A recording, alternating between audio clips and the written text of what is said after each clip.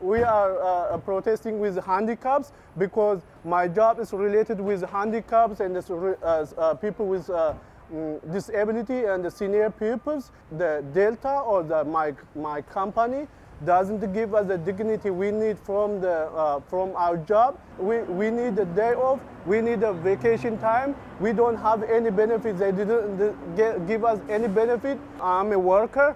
I'm the one who is defeated. I'm the one who's not getting benefit from my job. I'm, I'm working 40, 70 hours per week, but I'm still dependent on the government.